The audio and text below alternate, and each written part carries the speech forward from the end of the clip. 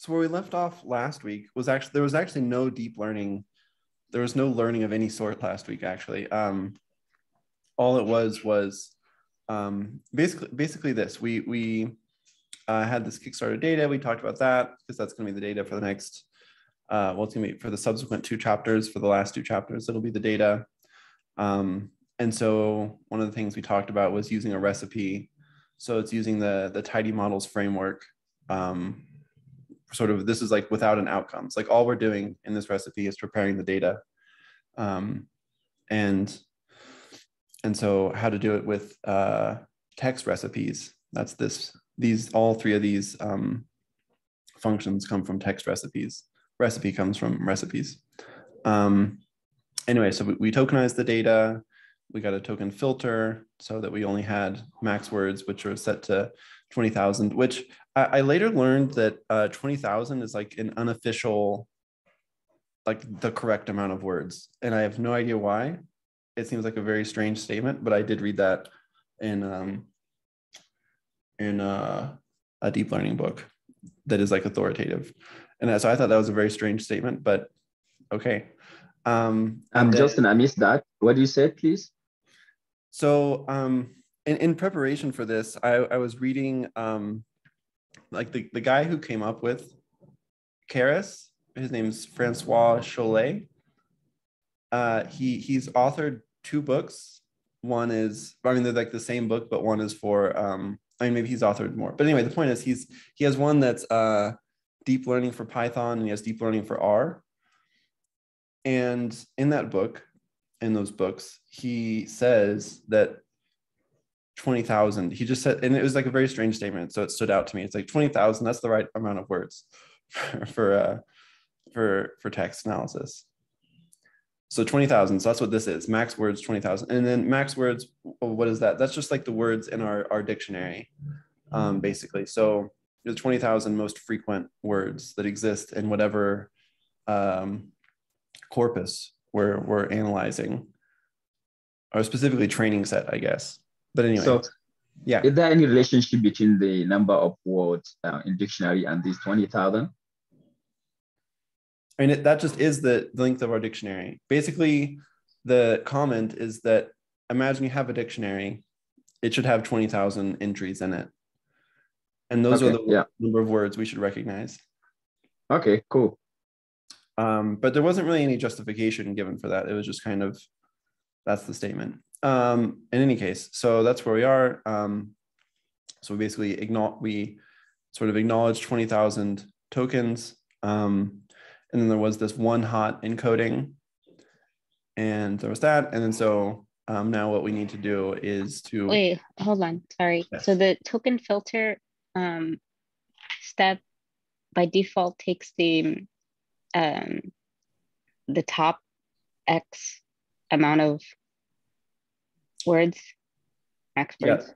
So, so in, in this case, okay. the max max tokens, you give it, you know, an, an integer, some integer, in this case, 20,000, and it will, you know, I guess under the hood, it counts, it gets like, it counts up all the words. Okay. And uh, gets their frequencies, right? And so, mm-hmm. um, and so the 20,000 most frequently occurring words are the ones that are preserved in the dictionary. So that's it. it. Okay. And so then once we've done that, um, so that this is just creating the recipe, right? That's like the outline of what we want to do. This actually uh, uses the training. So this is the Kickstarter train. So it actually uses the Kickstarter train to um, calculate these things, like figure out, uh, for example, what the 20,000 words are going to be. And then we bake it. And so that means that we actually apply the prepped recipe to, uh, in this case, the, the same data, so the KS train.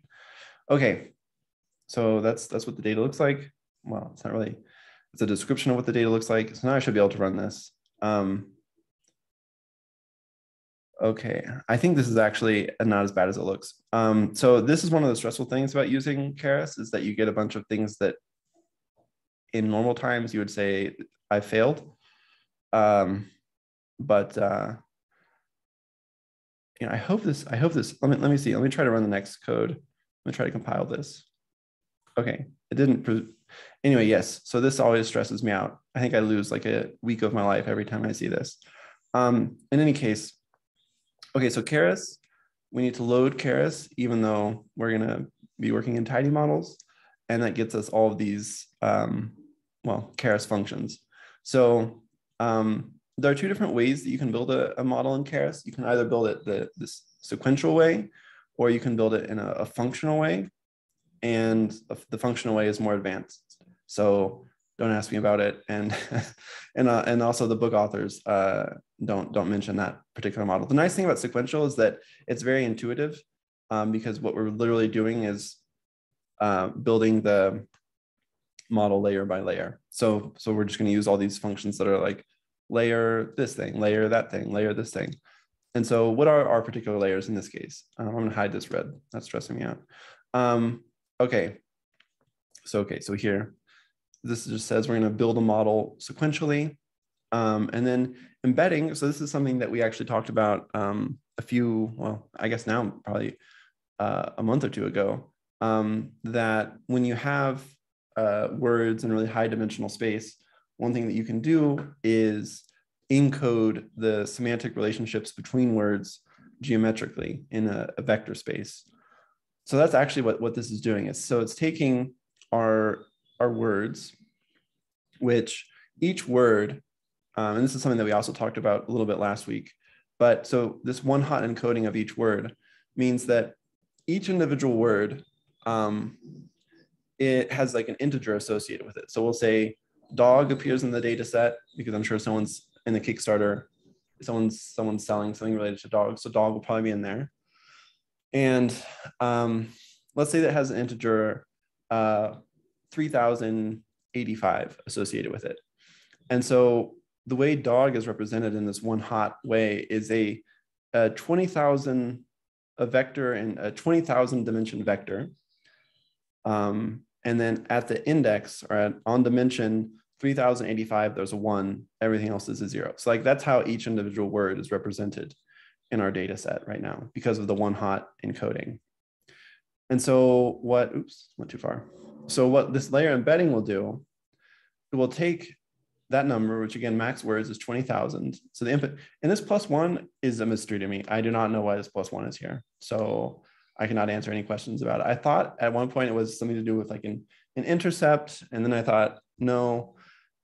And then I thought there's, there are other little things that it might be, but interestingly, a bias term maybe. Right. Yeah. Yeah. So that, that's very good. You're using the deep the DL lingo. I still call them intercepts, but yes, a bias term. I thought, um, sorry, I, I have a particular fascination with deep learning lingo um, to produce actionable insights at scale. I don't know. I just, I just feel like it's fun to use business speak. In any case, um, the point is that um, we'll, we'll say it's the bias term. I, I don't think that I, something inside me deep doesn't think that's what it is, but that's as good as any of my guesses. Um, okay, so what this embedding layer is going to do is take this, you know, these these vectors that are of that dimension. Uh, so this is 20,001, and it's going to embed them. It's going to put them in a dense 12 dimensional space. So that's a huge reduction in dimensionality.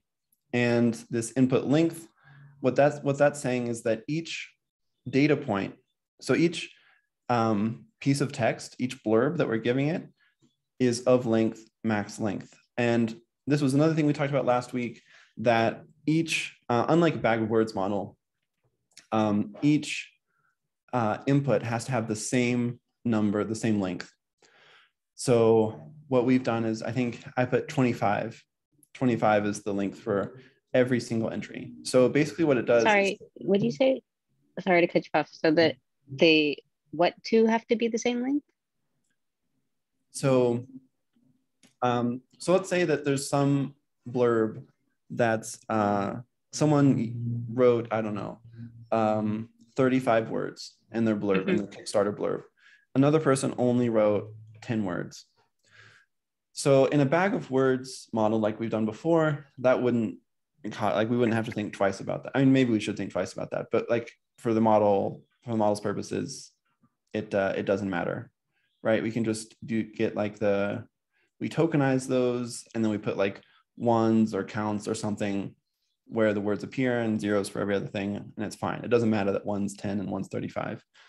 Now, for this deep learning um, architecture, every single blurb has to have the same number of words. And so we force them to have the same number of words by picking a number of words.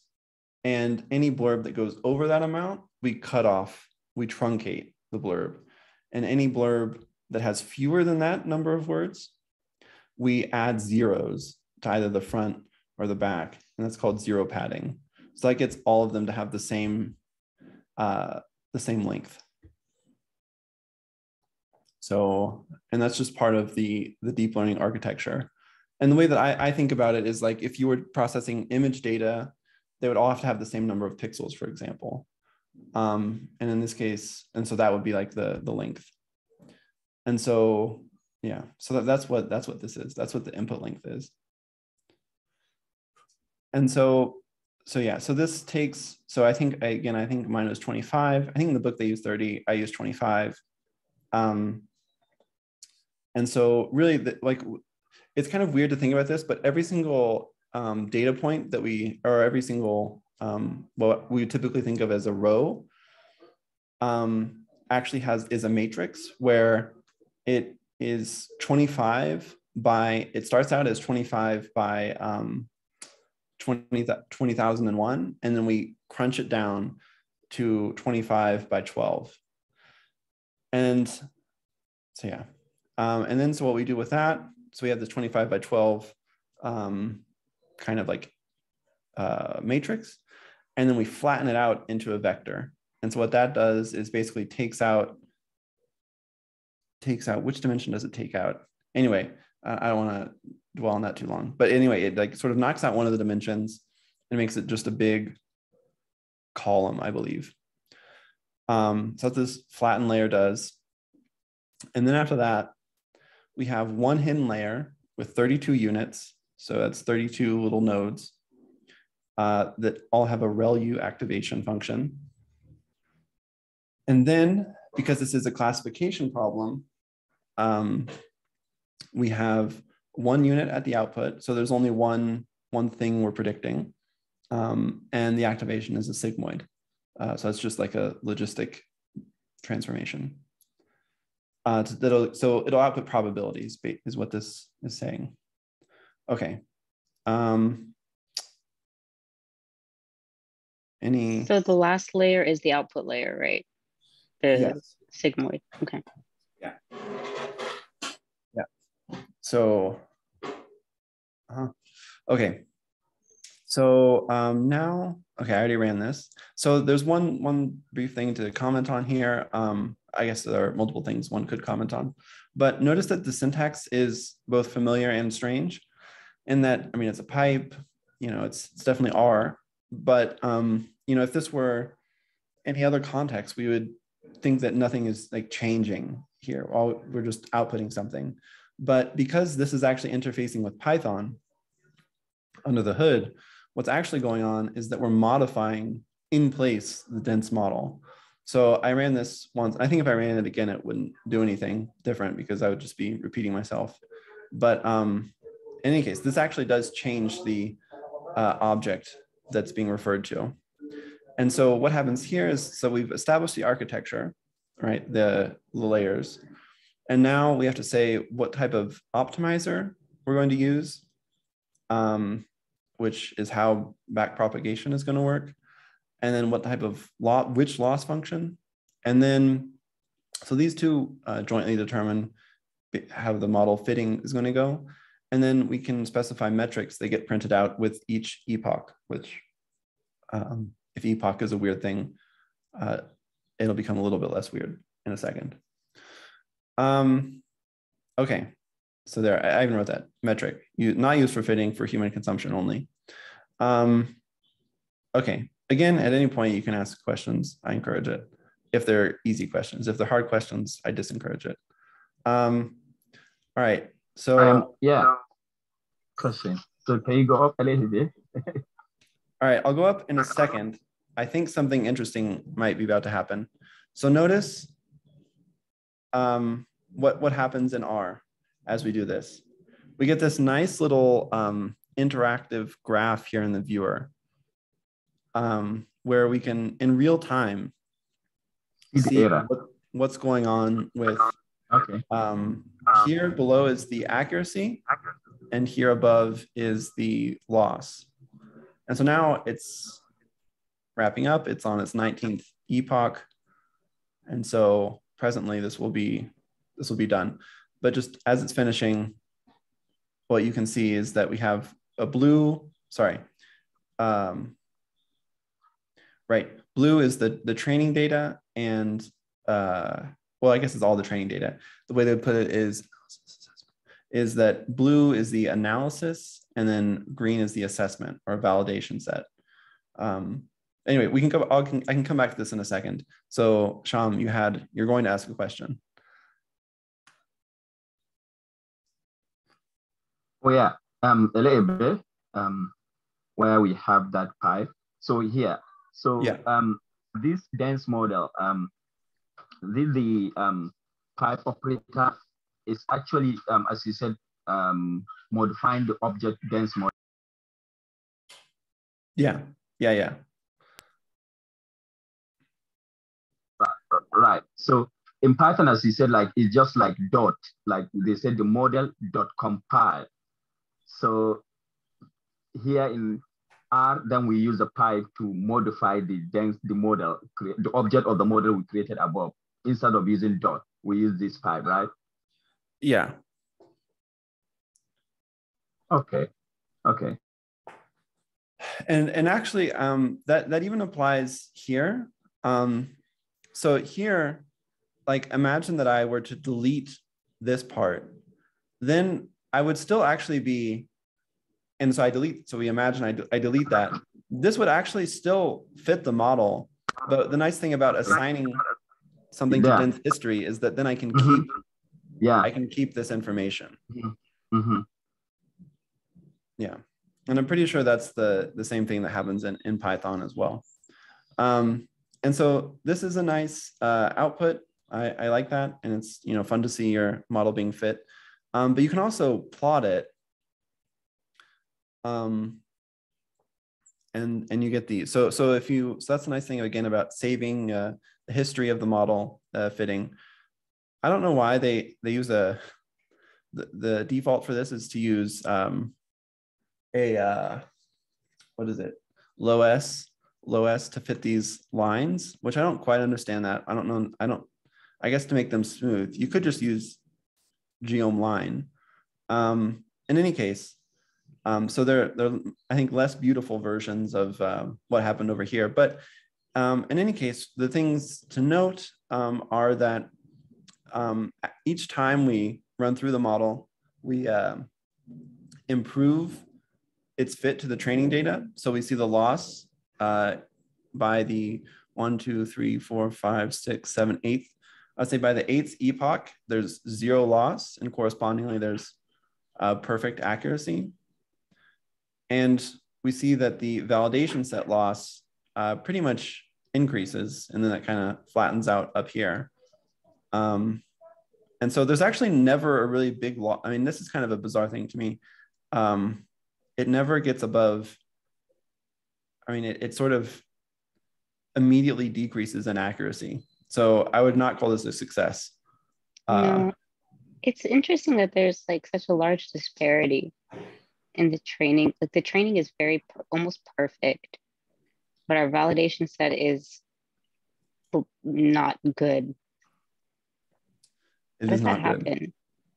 so um, i would say if i if i print out dense model um, so one thing to note is that we have an incredible number of parameters. So notice that uh, in this, the very first embedding layer, we've, you know, we're creating 240,000 parameters. You know, here we've almost got a thousand parameters to round. So we have so many parameters that it's actually, when you think about it that way, it's not that surprising that we get perfect accuracy. Um, just yeah. So and that's it. So oh, there it is. Total number of parameters. Yeah. Basically 250. I mean that makes sense, but the I I'm. I mean, typically you kind of see like. Don't you normally see like similar, like almost similar patterns between your validation and your training set? Um. Well, I mean, I would. I don't know. I'm not. But I not so not like not as huge of a difference. Like this is like incredibly like almost opposite. Mhm. I, I think the thing that does surprise me, um, which is is related, is that accuracy really never goes up. That's to me just kind of the wild thing. Like at no point does accuracy on the validation set go up. Which of course that's the accuracy we're, we're more interested in because that's the Mhm. proxy for out of sample accuracy. Anyway, Yeah. so so not not a huge success um but i'm going to go through this a little bit a little bit quicker now because i've somehow always managed to do this all right so um but again i i encourage all easy questions um so for the validations uh so another way to do this that i didn't comment on before i probably should have is let me scroll up so when we fit the model um i mean there are a couple things i could have noted here first no formula uh, this is a very python I, to me it's a very pythonic way of saying what the model is. You specify the X, so the regressors, explanatory variables, features, whatever you want to call them. Um, and you specify the Y, which is, you know, the output, the outcome. Um, and there's batch size, which is something we didn't talk about. But so typically every uh, update of the model's parameters, like you don't actually use all of the X data. In deep learning, you won't use all the X data, you use some fraction usually I learned that it's a power of two. So you use some power of two uh, as a batch size. And that's just related to GPU stuff, I'm pretty sure. Um, so yeah, so you use a batch size, uh, you specify number of epochs. And this is what I wanted to get to is that you also specify um, a validation split. So if we had not, so we had put zero here, I don't think it would have given me an error. It maybe should have, or maybe it would have. Um, but the purpose, the thing is that we wouldn't get this green line. So, um, or the series of green dots. Sham, I see Yeah. you're wanting to say Uh, something. Oh yeah. Um. So this batch size, um, I remember the other time we were working like um, the um, we had like if you put a large number of batch size, um, and your GPU cannot support that, you will have a constant error. So it turns out that I had to reduce some models because they are large. I had to reduce like the batch size to one, and it's perfect. You know, yeah. Some I need to reduce the batch size to be two because the models is like huge. So um, yeah, so the batch size depends on the hardware one that you have. So if you have a very um, constrained hardware, so even um, a model uh, runs on other people with a particular batch size, so um, you should know like you can reduce the batch size to fit your own GPU. Yeah. Okay. Yeah. That's uh that's good to know. Um okay. I Yeah, um, I also like um, so as you said for um, deep learning. So in machine learning, classical machine learning, we just give the model our data, right? But um, in in deep learning, um, you need to give models in batches, right? Um, I don't know, like um, eh, I mean, under the hood, um, do you think of anything why deep learning models need um, the data not in its entirety? It should be in batches. I know this is how it is, but I don't know if you have why. Um, is we should give its data in batches. Why? So the batch size is basically how many samples of your data is going to get back propagated. Um, so they, uh, you typically do that for um, in these like uh, for textual analysis, for example, like um, general adversarial networks or something like this. and because you want to basically adjust the weights for each each of the um, hidden layers for each node to reduce your your um, error from the cost function cost function. So so like ReLU is the activation function here. So you would take each of those batches, then back propagate through each epoch um, to find the uh, lowest um, error. Okay, yeah. So I understand like um the reason why it's you're saying like um um so of course if we have a single batch, we can still have be able to put back propagate, right? If we have a single batch, still we can back propagate. Um, yeah, and I think in theory, but yeah, I think that yeah. you would kind of be doing an injustice to your model because then you don't know. I mean, if you get it, if you get, you know, good performance, then sure. But I don't think that. I think it takes a, a couple, takes several. I think. Um, I don't know. I think in theory. Yeah, understand. Um, when you're trying to make like uh, just to be able to adjust the error um for each um, batch so that you can be able to compute back for again for each batch. But the point is, even with a single batch, batch size, if you say one batch size, your model can still run. But I think, yeah. Okay, cool. Okay, um, I'll just just as my own little little thing about that. Um, the way that the the mini batch uh, thing was explained to me once upon a time. Um, so this batch size. Uh, so so right, and so the way it's I think typically brought up is that is kind of what what Sham said is that okay, so in like, this is like a new idea in machine learning. Typically, right, you just throw all your data at once and it fits it all simultaneously. Uh, and the way it was explained to me uh, with this batch size thing, so using mini batches uh, and updating on mini batches, is that you can think of um, your data as a population, and each mini batch is a sample from that. And so, actually, you can, um, and you know, just like in, in inferential statistics, the idea is always you take a sample from a population, and you, as long as it's a random sample, you get information about that population. And so with this batch size, so within, let me think about how to put this. So in one epoch, let's say that there are like, let's say their data set's really big. Uh, it's actually not that big. Let's say, no, it's pretty big. Let's say that there are 100 batches basically in one, like we have enough for 100 batches in um, one, in our training set. And so what that would mean is that in one epoch, we can actually like get 100 samples and use those to get like a really good estimate um, like 100 times. It's almost like doing 100 epochs in one epoch kind of. And so that's the way it was brought up to, with me. It was like there's like it's really efficient to do uh, batches like this.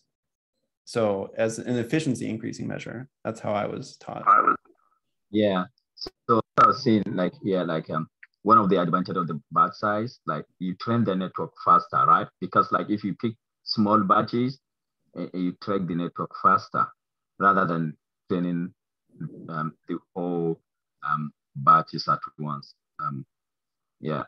All right. Yeah. Um, okay. All right. So we've only got 20, 20 minutes. I'm gonna try to do this fast. So um, I think while we were talking, the chapter is so interesting, Justin. That's why. yeah. Um, I'm glad. Um, so so now we're going to use an rsample function uh, validation split. So basically, what we're doing now, uh, I guess to put this in context, is before what we did was we let um, Keras pick out a random 25% of the test of our, sorry, of our training data as a validate and set it aside as a validation uh, set. And so now what we're going to do is do that ourselves. So we're going to create a validation split, and then we have to use these. Um, um, yeah. Um, sorry, Justin, I have a question. Can you go up a little bit? Just ask one simple uh, go up, go up. I forgot the question I want. Go up, yeah, up, up, up, where we have the training. The the train? Yeah, where we do the training, some figures, where the training, yeah. Go um where we okay, maybe this one that we train, uh, where I see some figures where we see the batch size, the training stuff result. Is this it? I hear batch size is here. Uh, the output of the training when you were training some output that coming up some figures oh, so uh, maybe this um okay no. So um okay see, I think that um, that might be lost what you were saying. I think i i closed it and i think okay, that that okay, okay. Okay we can move on move on. Okay.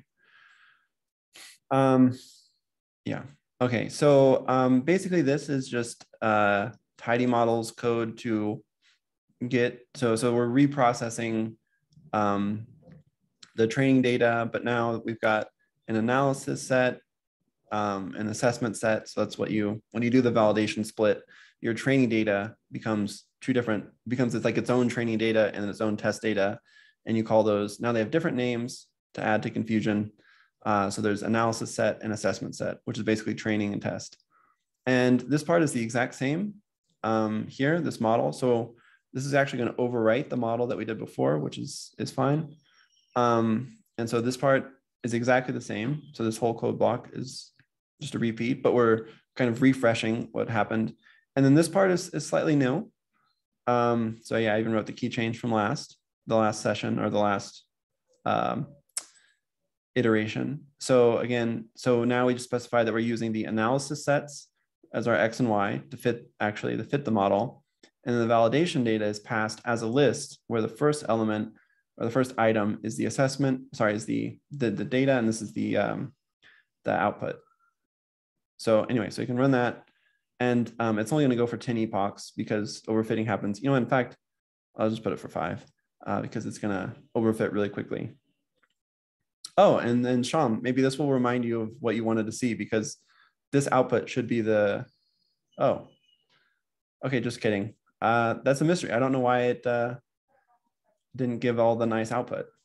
Um, okay, but so now we can see what that plot looks like. Interestingly, it, uh, I guess maybe with five points, it uh, too few to make a line, but we see the same pattern, um, even though there's not a nice line. So uh, with validation, we see that accuracy increases from just over 70% and kind of gets to 76% maybe, 77%.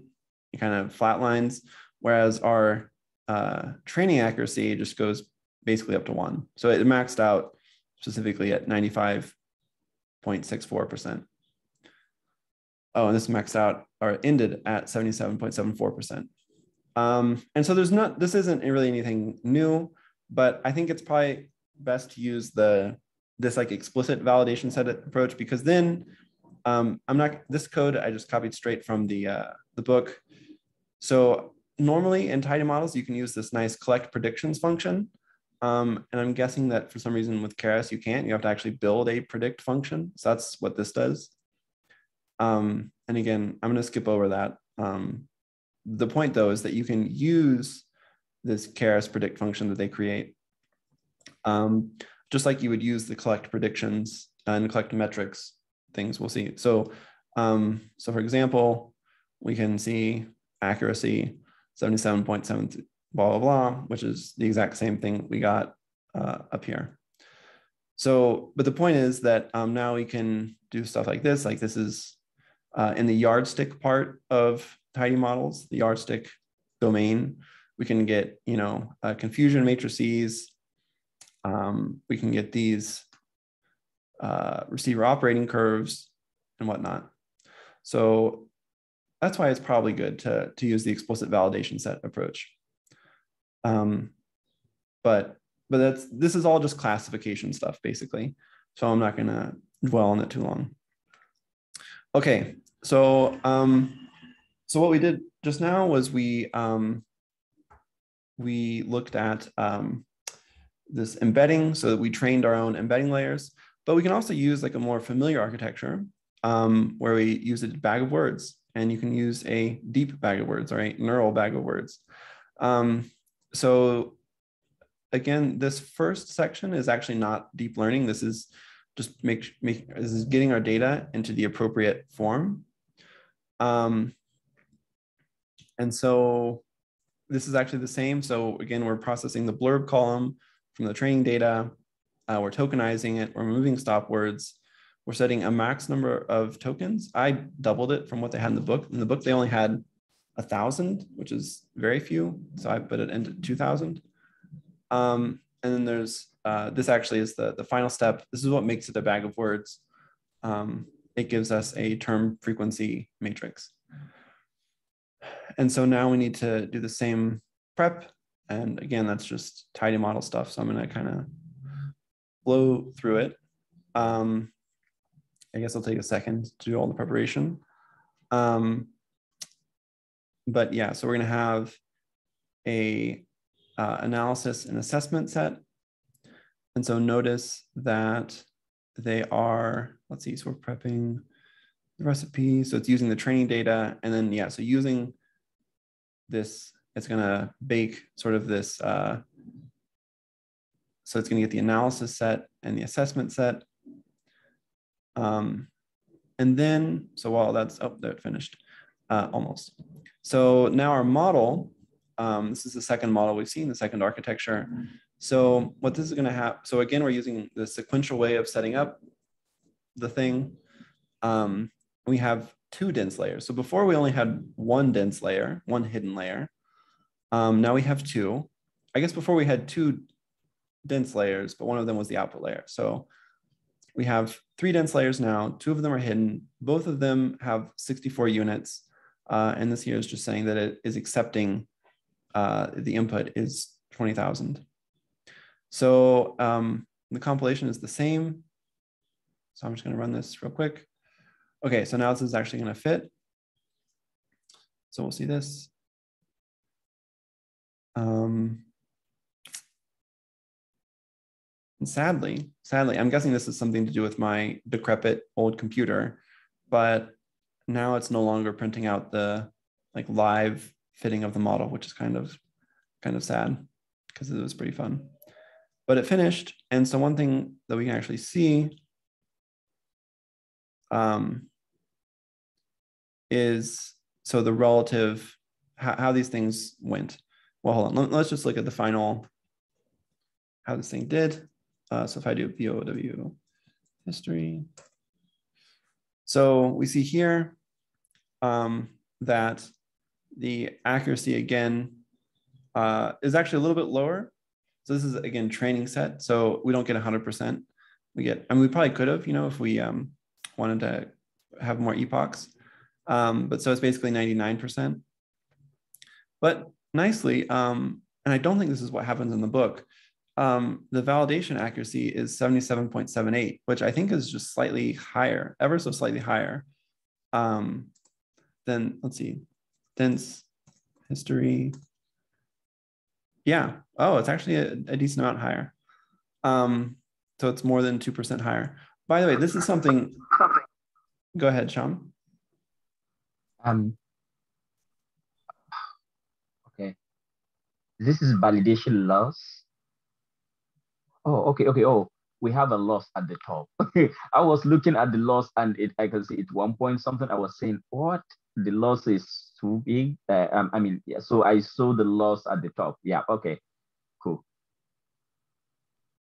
Yeah, so so these um, I think are things that we don't really care about um, because this is on the training set, and uh, and I think we should expect that these things are basically going to be zero and one respectively, or we could get them to zero and one uh, in the limit, and we don't really care about that. What we really care about are these things and um and so yeah so this is i found this to be interesting because like i said in the in the book um they they don't get as good results with the bag of words and i get better results with the bag of words um so i don't that's just uh and i, I was comforted um when i was reading the deep learning for python book And yes, I do admit I was reading the Python one because there's a second edition that came out just last year. So it's a little bit more updated than the R book. Um, and that guy also got better results for a bag of words. So, uh, so I just thought I'd point that out. So, yeah. Um, and then, yeah, and this is just the same, uh, using the sort of hand rolled predict function and then using the yardstick um, function metrics to get accuracy. Oh, and this is a, a, you know a classification metric that I'm not really used to seeing, but is apparently it seems interesting. So it, it takes into account what a uh, like a baseline model would do, and then sees how much better your model is than the baseline model. Um, so I don't know the exact calculation, but kappa, that's what it is. It's somebody's kappa, if I'm not mistaken. Um, all right, there's only 10 minutes left. So I'm gonna try to think about this. What should we do? Um, yeah, I'll just go this as fast as I, well, um, maybe I, I just won't do this, but what I'll point out are some things about this. So there's the textdata package. The textdata package will give you um, these GloVe embeddings, and GloVe embeddings are uh, the same type of embeddings we talked about before, where you take uh, a word that's in, you know, however long your dictionary is, that's whatever space your word is in.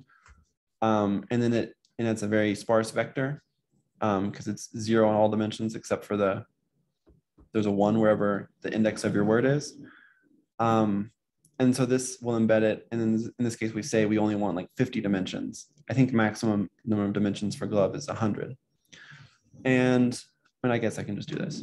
So what that'll look like uh, is this. So for example, these are all the, the tokens. And then in this case, we've limited it. Well, the book, I don't know, uh, says, okay, let's just only look at the first, uh, I guess, 12 dimensions. And so, so anyway, so this is like the representation of the, you know, um, it's this and then up. And so we see that that, and then there's a lot of stuff, and this is what I'm going to skip over, um, that is basically just how would you get this, all of this, into the format you need to like stick it into your Keras model. Uh, and there's a decent amount. Like you really have to kind of know what's going on under the hood. Like, um, like I'm not I'm not going to go over this, but I will say that I kind of despaired a little bit when I was like, man, you really have to. It's like being a car mechanic. You like have to get in there and uh, and do quite a bit. So this is them. So this is Ukraine the architecture. So that actually kind of looks very similar, but now see we're starting to take into account this uh, embedding matrix. And then this is the real new, this is the novel part where we're actually setting the weights. So what we do is we take our model that I'm not going to uh, run, but um, so we, we get a layer. So it's layer one. So we see it's the embedding layer, um, which is kind of weird. Python has zero indexing, so I'm not, that's a little bit confusing. But anyway, so it's the first layer. Maybe, maybe it's, anyway. Um, we set the weights and we pass the weights as a list. So we take the matrix, make the list. Again, this is all like real under the hood knowledge. And then we, and then we freeze the weights. So that means that when backpropagation goes through, it's not going to change uh, that layer. So uh, the, comp the compilation is the same and all this is the same. And the upshot, if I were to run all this, is that these models would do pretty poorly.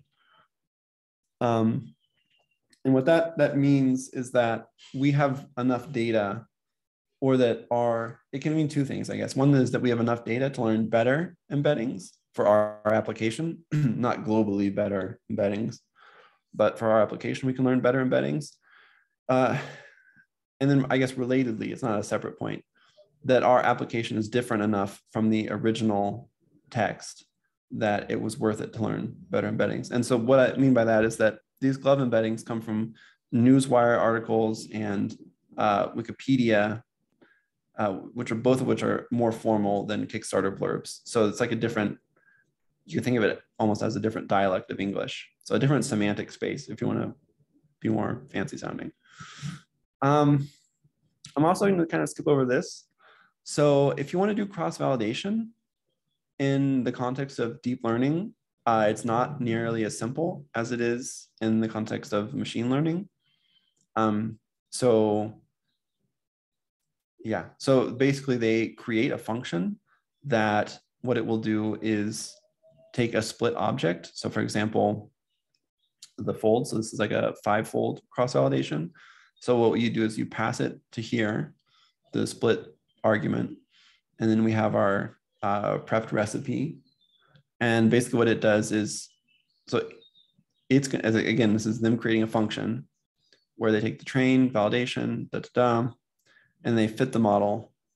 And anyway, they, they save it, blah, blah, blah.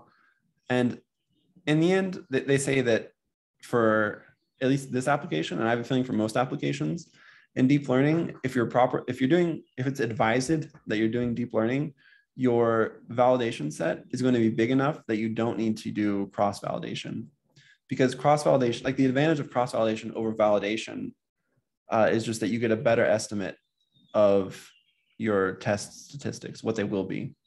Um, because, right, so if you did like five fold cross validation, you get basically five estimates of your test performance. But um, and the reason you want five is because there's sampling variability, right? Blah, blah, blah. But if your if your validation set is huge, then you might only need one. So that that's the point. But again, um, go ahead, Sean. Um, how how huge you mean? So if I have like one thousand as validation, is that huge? One thousand instances, I mean. Right. I mean that is that is very big. Um, in the sense of for like unless you think that the I mean, it's not very big in like the deep learning sense where you can have millions, right? Um, so in that sense, it's small. But as far as if you think about um, like the formula for, for a standard error, which is the standard deviation divided by the square root of your sample. Um, so that would be like an 100 fold reduction. So if you have a thousand, that's an 100 fold sorry, no, that's that's just kidding. So the square root of a, you're reducing the variance of that number by the square root of a thousand, uh, which is actually a pretty big reduction in that. So I mean, I, I think that I mean that's the way that you would you would think about is it big or not? Is like how much, how accurate is this um, this estimate going to be? And you know, I don't have like a really good intuition for how much uh, deep learning models, like how much variance there is in their estimates. So, so I don't know. One thing I, I will see say is that, no, I'm not going to say what I was going to say. I, I, I, refrain. Um, and anyway, the, the point is, since we're running out of time, since I'm running out of time, uh, is that they they they do cross validation and then they just don't do anything with cross validation. They say no, it was too big, but here's here's some code anyway. If you want to do cross validation on your on your for your application, and actually now that I think about it, I can mention that their conclusion for pre-trained word embeddings was very similar. It was like, well, this was not we didn't need to do this basically because we have so much data that we can learn better embeddings. But if you do not have enough data to learn better embeddings, then you should use pre-trained word embeddings. So, uh, so for I guess for both cross validation and pre-trained word embeddings, those are kind of like the upshots. And so this, sadly, I won't be able to run because this all a lot of this code depends on um, having run a lot of this stuff before. But again, um, what I will say, and that they did not include that, that I, for some reason, have become a champion of bag of words. So I made sure to include that. And in in this case, for me, Bag of Words outperformed all other models. So the rank ordering would be Bag of Words, best, um, then just your dense model where we learn the embeddings. The frozen, uh, the frozen like pre-trained word embeddings was the worst. And then there was one that I think I didn't talk about that I skipped over where they did the, they gave the model the pre-trained word embeddings but then they allowed those to be modified by the model.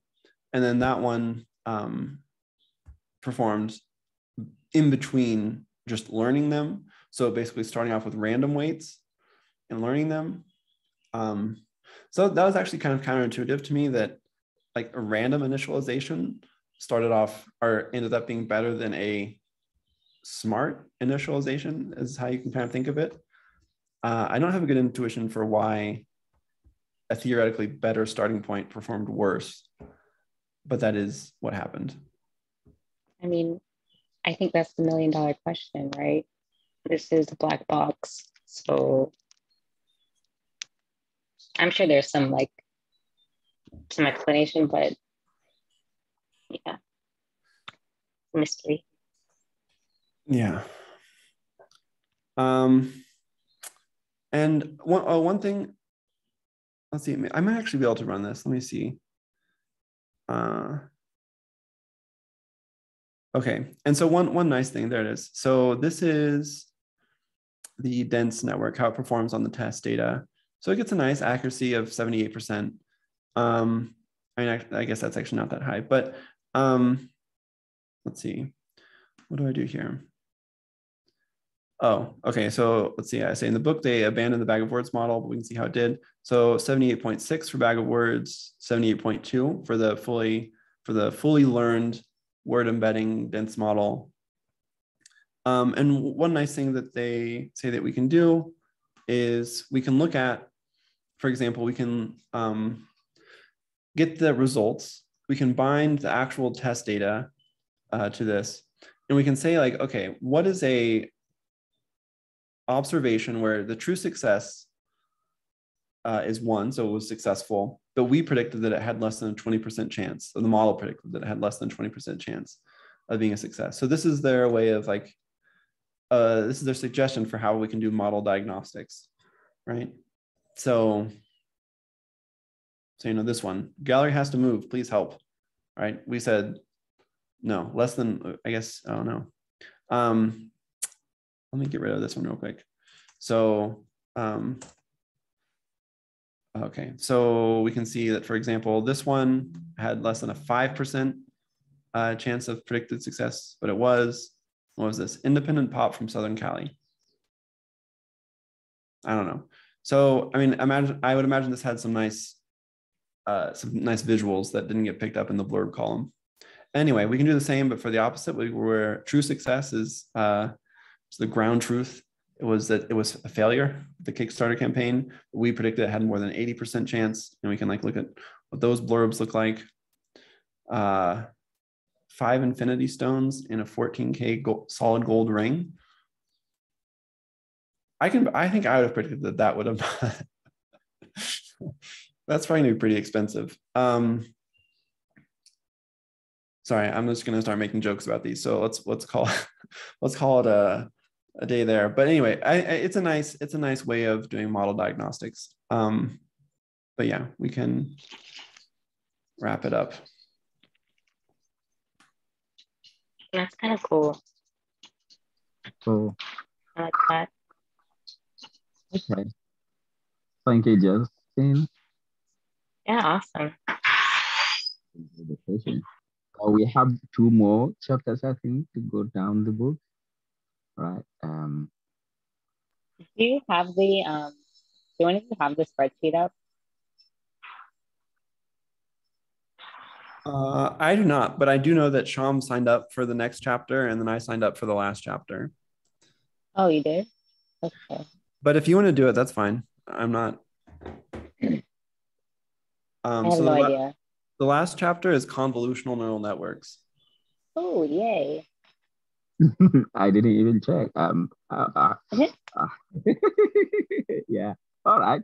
So let's see. Um, the next chapter is convolutional, and I will be happy to do that. no, no. The the last chapter. No, the last one. The last ah, one. okay. The next so, one. Oh, oh. Okay. You signed up for uh, Sham. You signed up for long term, short. I forget. It's LTSM. Yeah. LTSM. Yeah. Yeah. yeah. Mm-hmm. Okay. Cool.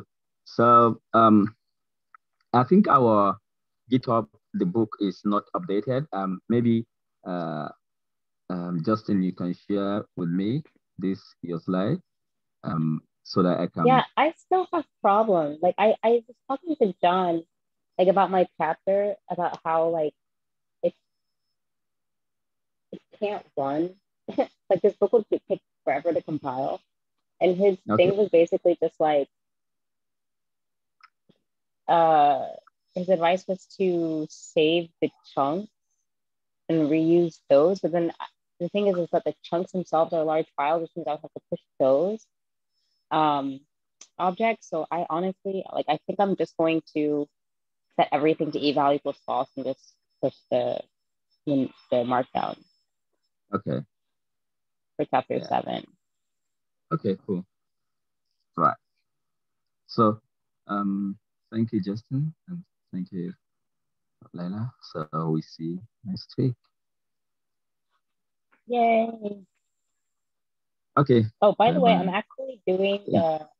I'm actually my one of my classes this quarter is um uh natural language processing with deep learning.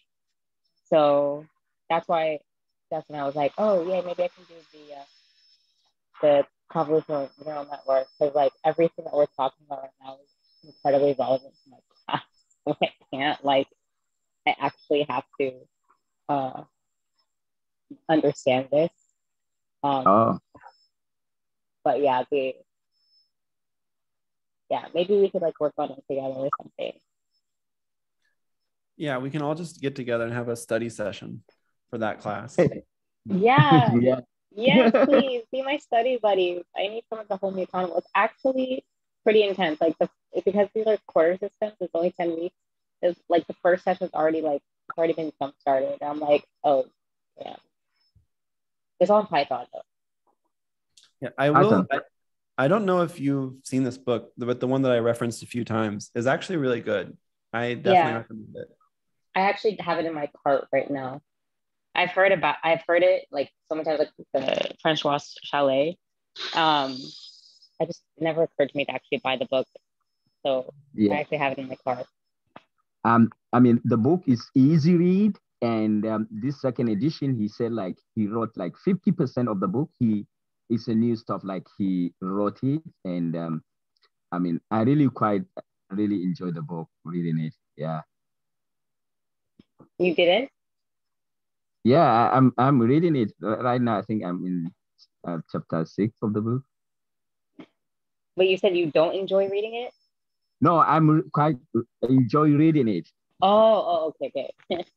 Yeah, I mean, yeah. Hello, uh, it has a lot of, I mean, good recommendation. The book, um, um, yeah, on Twitter you see a lot of people tweeting it. Um, yeah, okay. All right. Well, I'm definitely gonna buy it then. All right. Well then I Justin, you signed yourself up for uh, being a study buddy. So I'm gonna hit you guys up when I have problems. yeah, Okay. okay, Like I need help with my homework. yeah, so maybe you can for the last chapter. Anyway, anyway, yeah. We'll see. All right, guys. Okay, see you next week. Bye bye. Thanks, Justin. Bye. Bye. Thank you, Justin. Thank you.